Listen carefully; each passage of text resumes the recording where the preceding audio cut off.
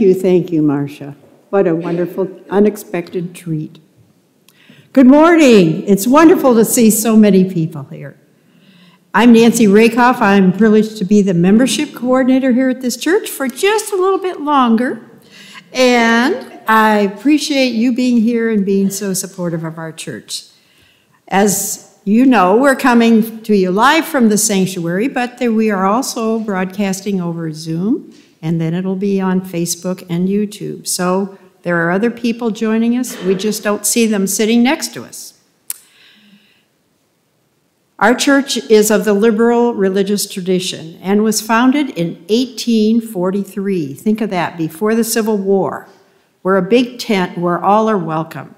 We respect each other's beliefs and seek to grow together in knowledge and understanding.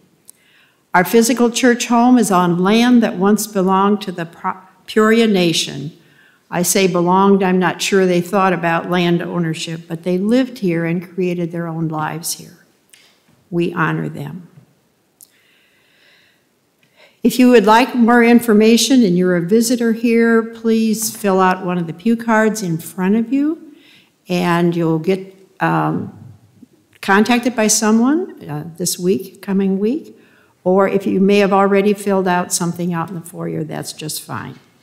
After the service, we ask that you join us for coffee hour, and this is an all hands on deck church and I got a last minute text somebody is sick, and we need a couple people to volunteer to help clean up after coffee hours. So there are always opportunities here.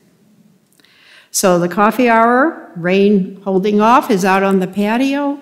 There will be a few people joining us on a screen via Zoom. We're so glad you decided to spend this time with us.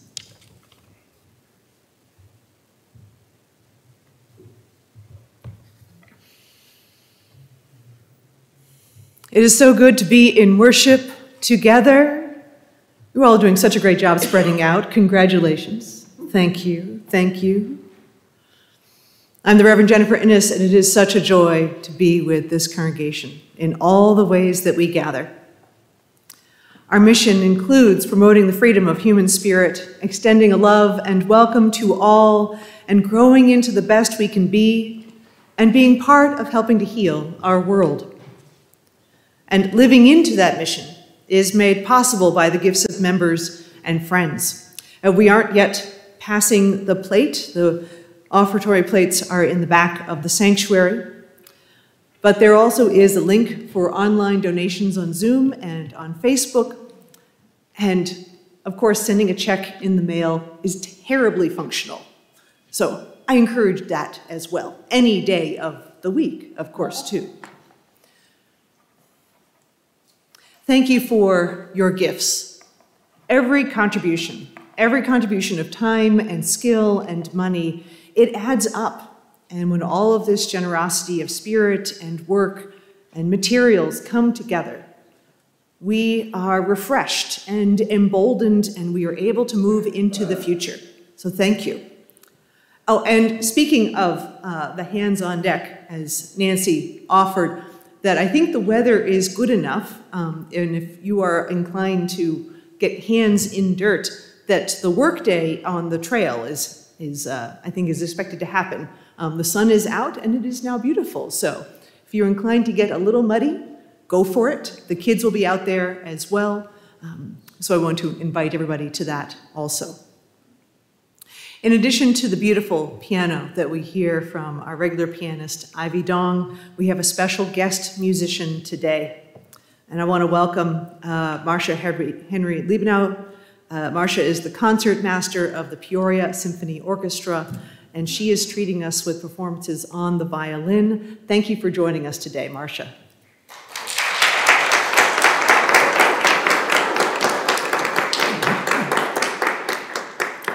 And now I'd like to welcome uh, Linda Fairbanks, the board president, who has a word from the board and an update from the Toward Live Church Committee.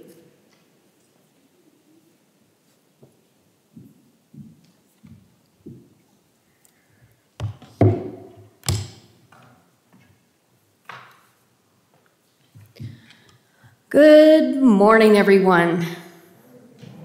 Do you know What an amazing congregation this is. We have stuck it out together through this stinking pandemic for going on two years almost. Can we have a round of applause for sticking it out?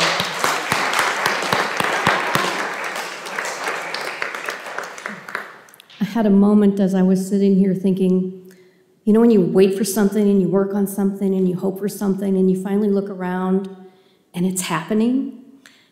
It's happening. We're together, we're in one place, we're virtual, the sun is shining, it's happening. So, on behalf of the TLC, the Towards Live Church Committee, I would like to thank you for your most, most recently, for your near perfect response to the reduced capacity for attendance in the sanctuary. Since we started September 12th, we've been averaging just about 50 in the sanctuary, counting staff, performers, and ushers.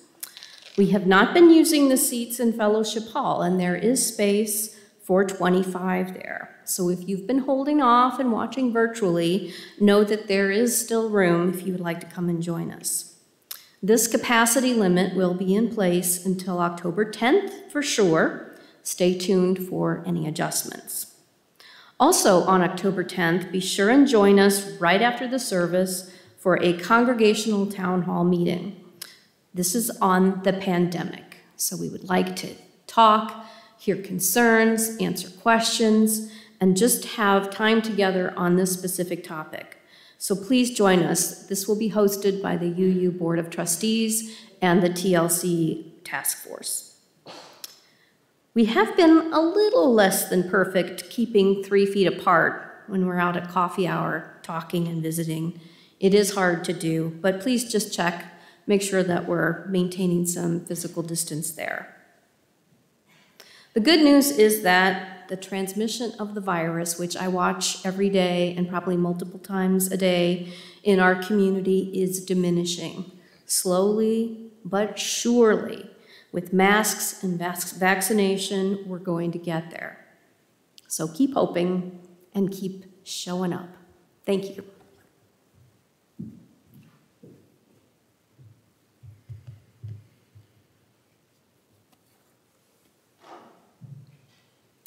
Thank you, Linda.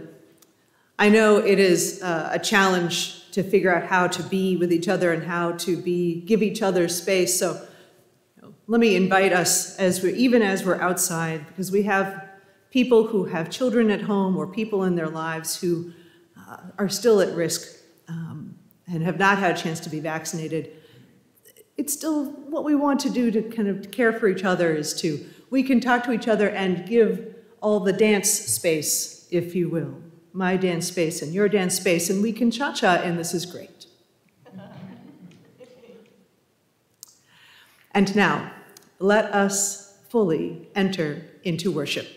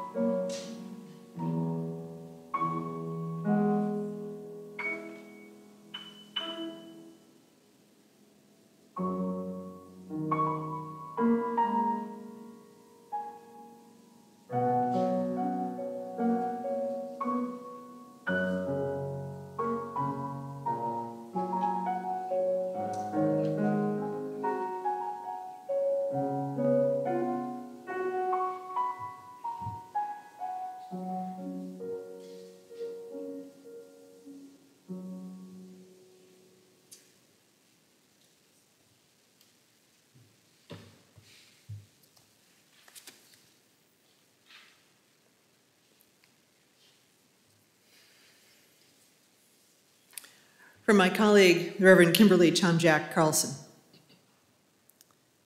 It is not by chance that you arrived here today. You have been looking for something larger than yourself. Inside of you, there is a yearning, a calling, a hope for more, a desire for a place of belonging and caring. And through your struggles, someone, someone nurtured you into being, instilling a belief in shared purpose, a common yet precious resource that belongs to all of us when we share. And so, you begin seeking out a beloved community, a people that does not put fences around love, a community that holds its arms open to the possibilities of love, a heart home to nourish your soul and share your gifts. This, this can be, and for many of us is, that heart home. Welcome, welcome to worship. Our chalice lighting was created for uh, the congregation for the occasion of my installation last March by uh, our member Cinda Thompson. Um, and she drew from our mission and covenant in its creation. Our chalice curves, catches the spark, and bursts into a flame, beckoning across space through darkness to light a way for each seeker on a journey unfolding into pain and into beauty. Reach forward, clasp open hands, form a circle, celebrate our infinite forms, join in spirit, join in our beloved community, kindle the courage, what is needed for real change. Come and help heal our world.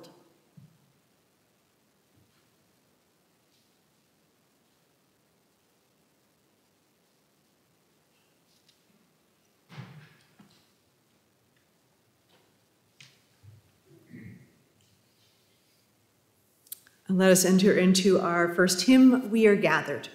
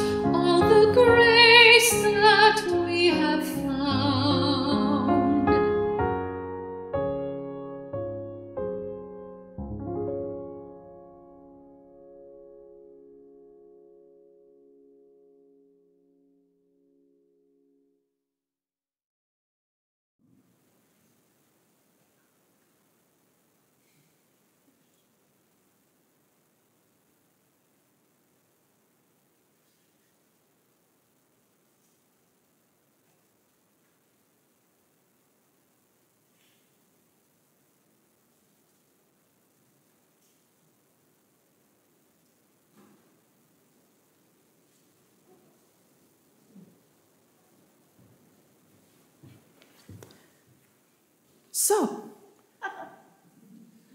let's have a story. I will offer what was supposed to happen was that we were supposed to have a recording from Amy Pop enjoying reading the story. But I can see it because we have this lovely confidence monitor, so I will offer the story instead. And this is all good. All right. Our story today is I Got a Family by Melrose Cooper, pictures by Dale Gottlieb. I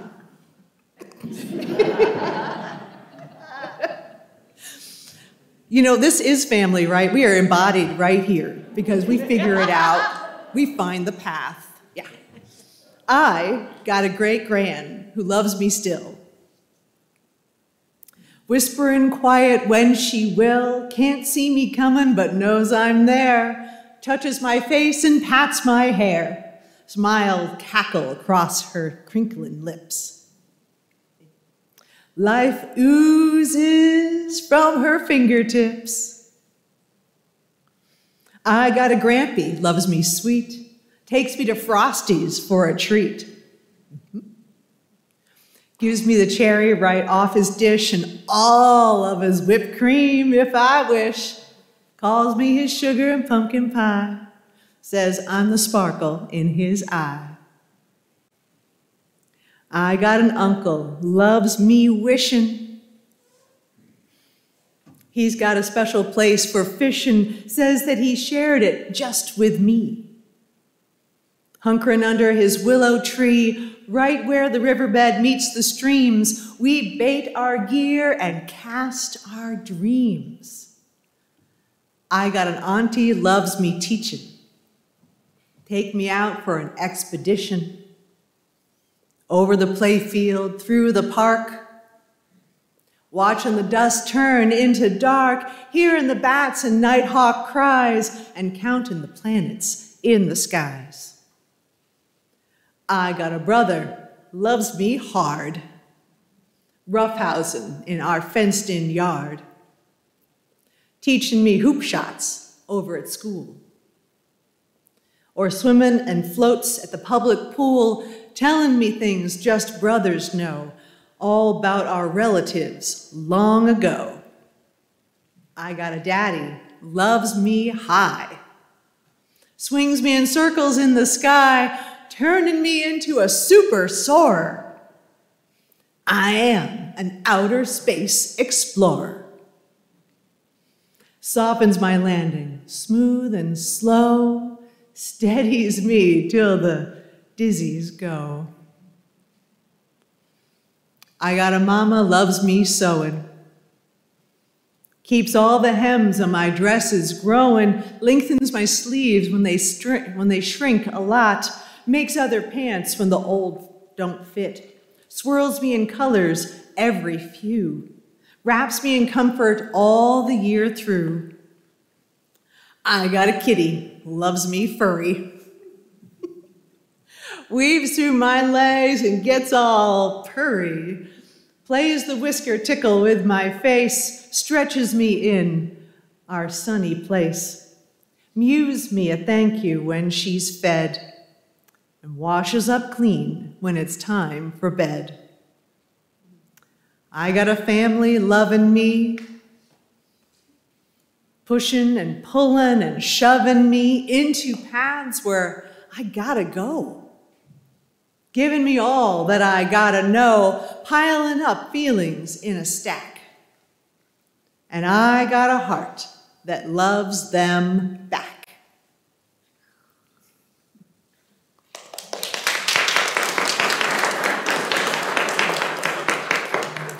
Thank you for joining me for the story. And now let us sing out the children and youth to their programs today. This, we have Go Now in Peace.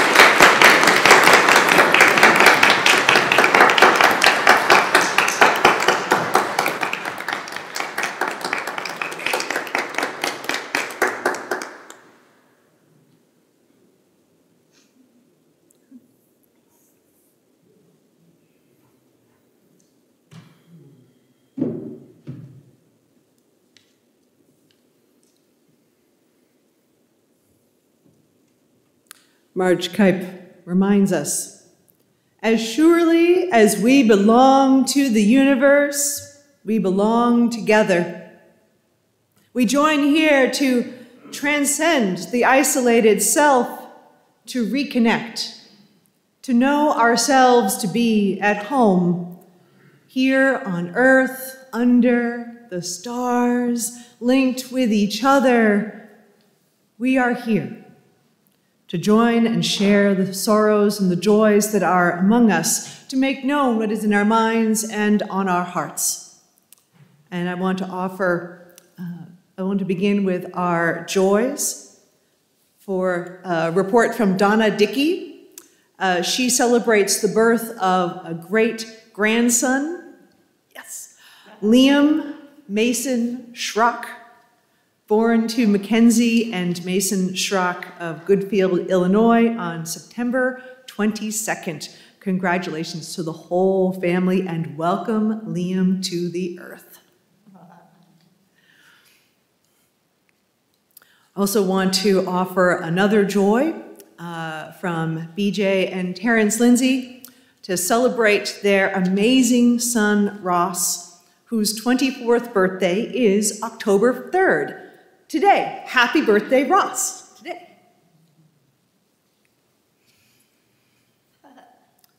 We also have a couple of sorrows to note.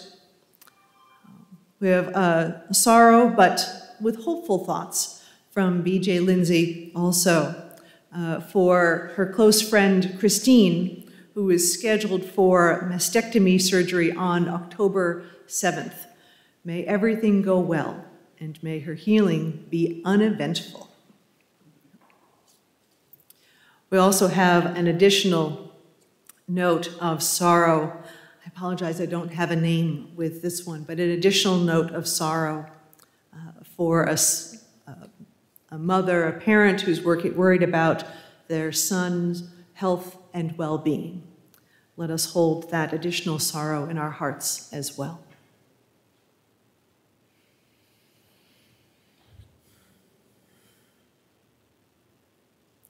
Let us take one more moment for all the joys and sorrows, the names and the milestones that are among us. There is so much that lives in our lives and remains unspoken and even unshared. Let us lay that down here in this time set aside within the embrace of the congregation. Let us pause for a moment. I will light our candles and we will pause in the quiet.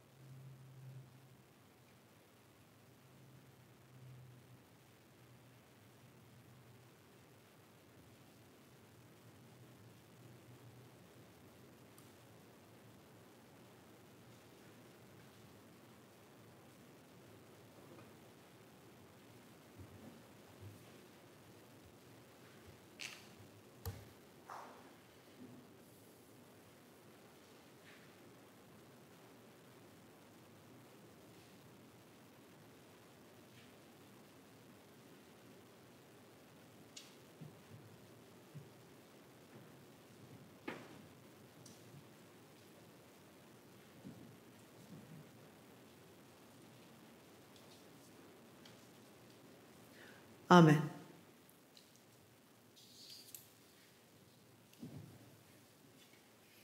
Our reading is from Adrienne Maree Brown and from her book Emergent Strategy. Adrienne Maree Brown is an activist, a doula, a black feminist. Her genre of writing is Afrofuturism. She is writer in residence at the Emergent Strategy Ideation Institute and her work is deeply informed by the Black author Octavia Butler. And she says, When we are engaged in acts of love, we humans are at our best and most resilient. The love and romance that makes us want to be better people, the love of children that makes us change our whole lives to meet their needs, the love of family that makes us drop everything to take care of them, and the love of community that makes us work tirelessly with broken hearts. Love leads us to observe in a much deeper way than any other emotion. If love were the central practice of a new generation of organizers and spiritual leaders, it would have a massive impact. If the goal was to increase the love rather than winning or dominating a constant opponent, I think, I think we would actually manage, imagine liberation from constant oppression. We would imagine liberation from constant oppression we would suddenly be seeing everything we do, everyone we meet, not through the tactical eyes of war, but through the eyes of love. We would see that there is no such thing as a blank canvas, an empty land, or a new idea, but everywhere there is complex, ancient, fertile ground full of potential. We would understand that the strength of our movement is in the strength of our relationships, which would only be measured by their depth. Here ends the reading. Let us enjoy our music for meditation.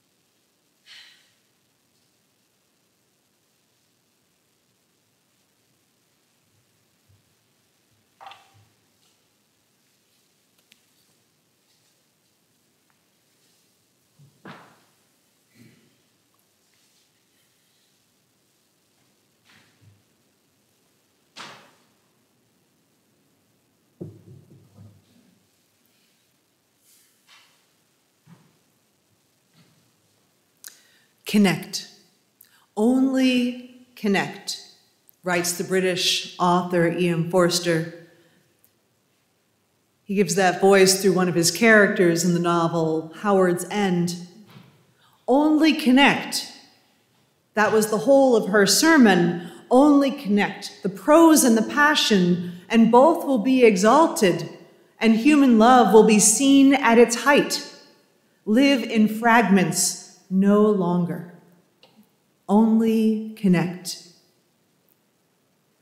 Through his character, Margaret Schlegel, Forster gives voice to his greatest concern that we human beings would, in fact, get past our biases and self imposed limits, the categories of class and gender, and that we would truly communicate. Now, he was a white middle upper class man in Britain in the early 1900s and was also as much part of the system of separation and oppression as anything as he was advocating against. At the same time, Forster is not wrong. In two words, he names our deep desire and our need as human beings. Connect. Only connect. For this month, we begin our reflection on cultivating relationship. And I was thinking about as we are beginning this um, in this moment to go back to the beginning, back to where relationships are born. What is the context? Where do they come from?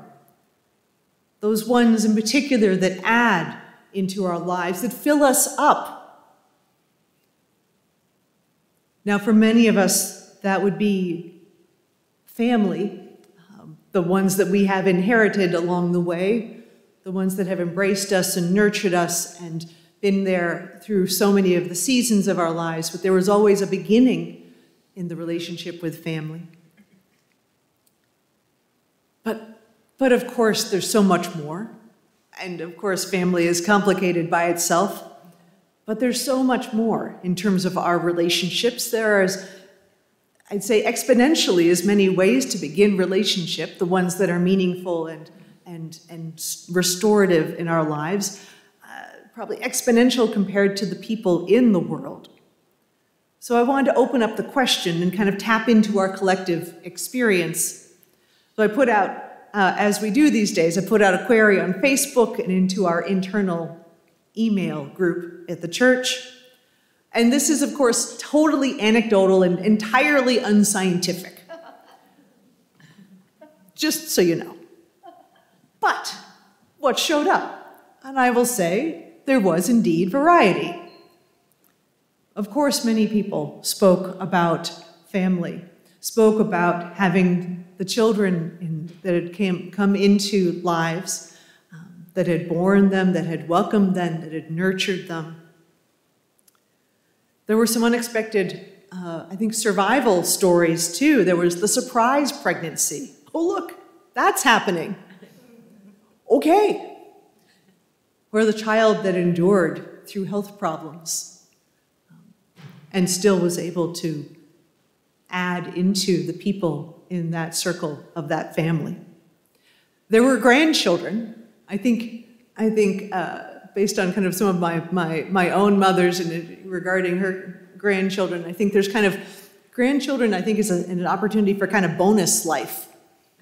Um, you get bonus people in lives because of the access to grandchildren and how that can have unique relationships um, that are fostered across generations and finding kindred spirits along the way.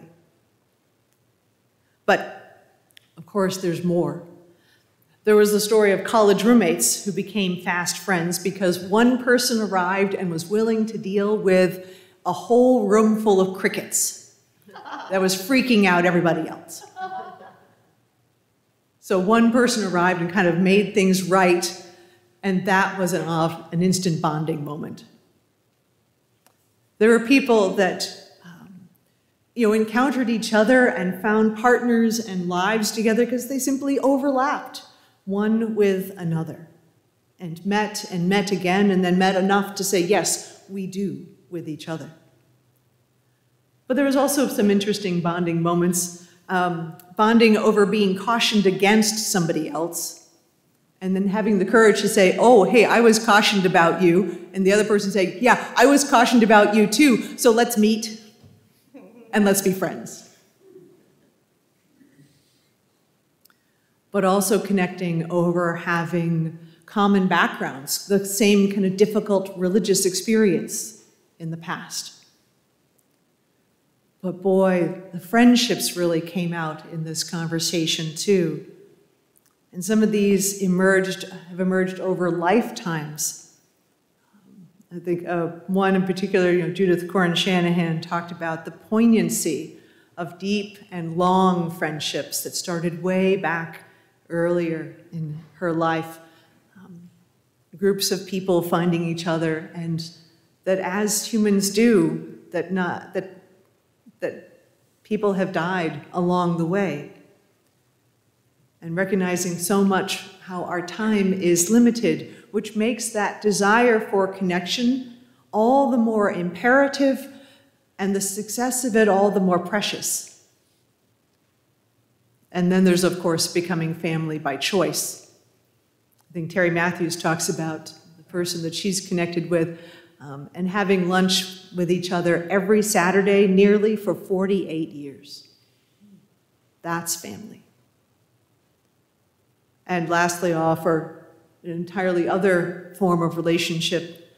Um, Carol Manny talking about being a teacher and establishing her class as a safe space, and how some of those relationships grew into connections um, during the teaching, but also then lasted beyond and beyond.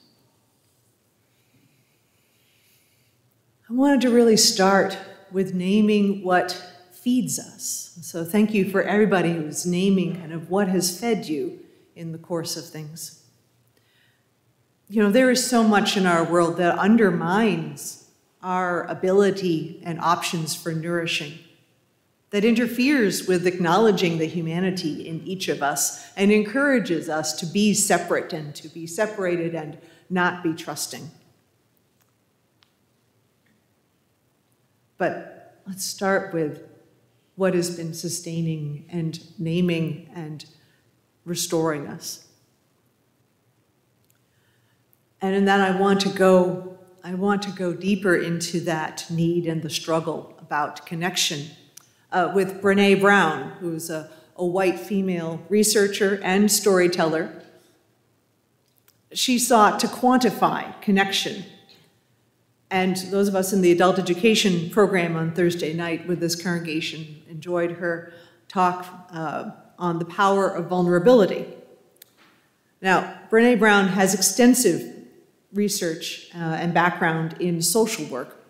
And she's one of those people, you know, in being with social work, you're working with the squishy and messy in life.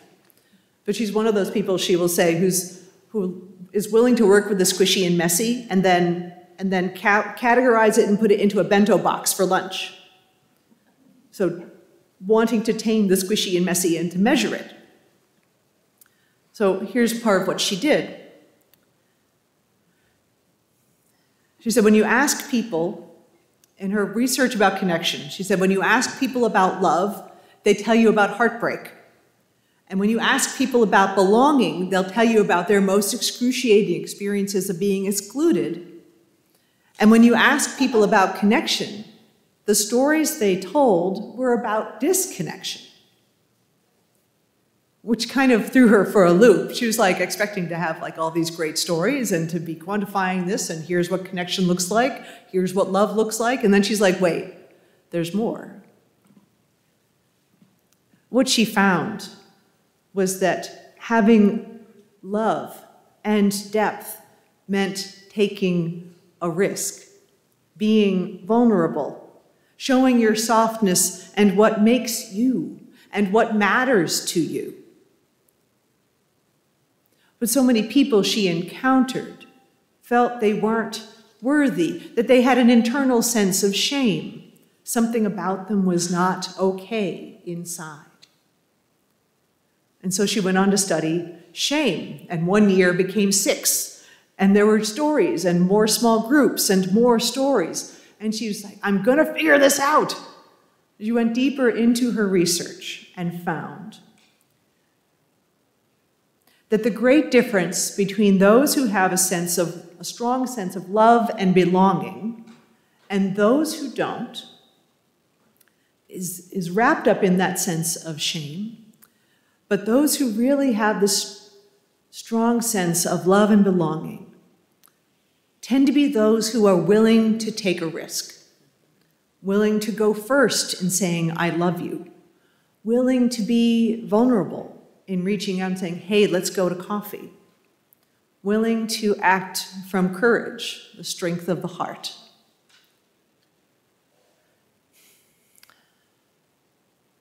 Now, I will offer that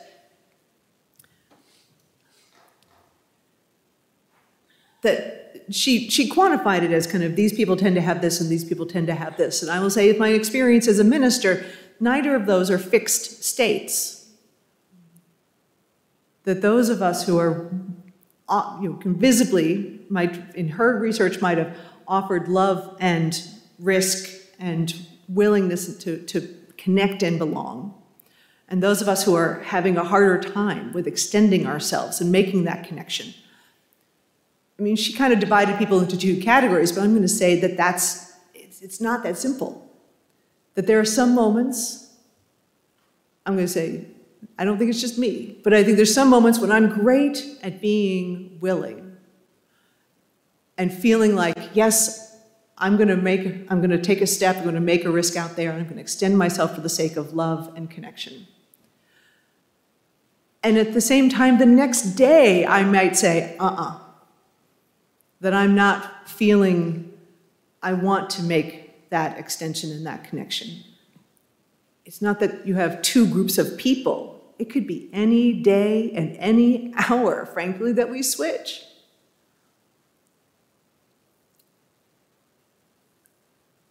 But the more that we can find a way to say yes, to say I care, to extend the self, the more likely we're to grow that. The more likely we might feel more worthy on a day when we don't really feel worthy.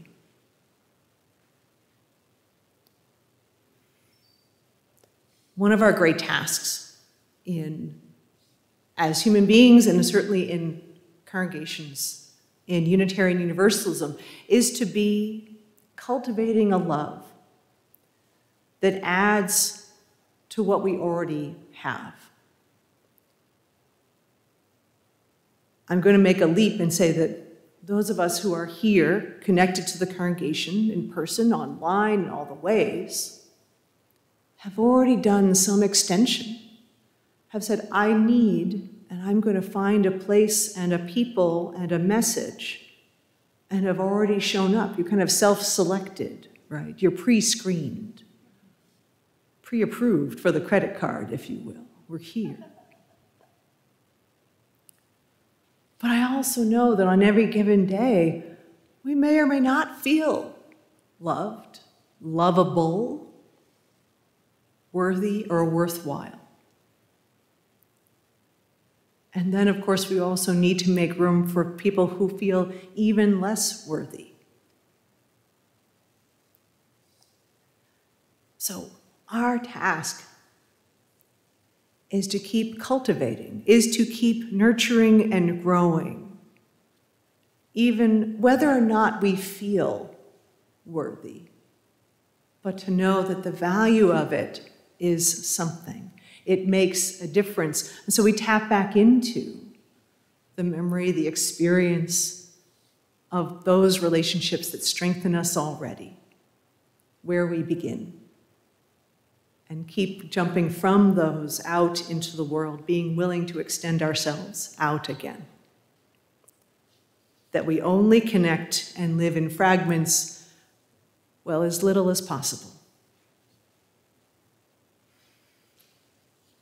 And we do this for ourselves and for our children and for those who come into the door, but also for a larger cause and a larger purpose that we fight for ourselves and others too, even when the struggle is long, because that worthiness, that, that appreciation, that respect, it's not just for our comfort, but we bring it out and say there's a larger message that the world needs to hear as well.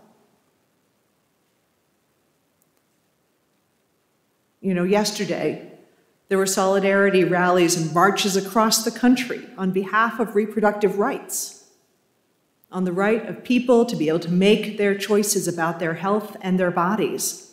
And Peoria Proud, one of our local organizers in support of the lesbian, gay, bisexual, transgender, intersex, and asexual, and more community, hosted our own Yes for Choice rally yesterday afternoon to bring awareness of the need for people to have access to abortion services, in particular, in response to the new law in Texas that cuts off access to abortion after six weeks. Oh, it's been just about six weeks since that law went into effect, right? So we're here in the struggle, and some of us are here in the struggle thinking, I've already done this struggle. I've already done this struggle, right? The UUA, our association, sent out a reminder that was helpful to me, which was some things are always worth fighting for. And this is one of those values that are always worth fighting for. And this is an expression of love, an extension of the self, to stay in the effort and the advocacy. As Maree, Adrienne Maree Brown reminds us, when we are engaged, we are at our best and most resilient. When we are engaged, we are at our best and most resilient If we could center love as the practice of a new generation of organizers and spiritual leaders, she said, it would have an impact. It would increase our resilience, not with a goal of winning, but with liberation for all of us. To keep saying, it's not just some people are worthy, not just some people get to be loved, but all of us are in it together. Simply by saying yes to relationship, we shift the frame. We run counter to the culture of separation and the pitting of each other against one another. And we start with recognizing the health and the love and the care we already have around us and within us. And that we take up all of the fragments of our lives and keep preparing the ground for more love to be cultivated Cherish the ways that we find each other and all the ways they begin. Create a place of welcome and wholeheartedness, reinforcing what is already here and preparing the space for those who need it more deeply. Let us go forth, caring for ourselves, caring for others, and raising a new generation of leaders centered in love that is fierce and liberating and universal. Let us go forth. Amen.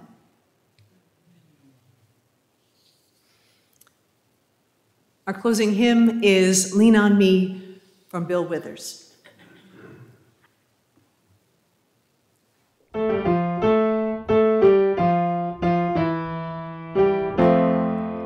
You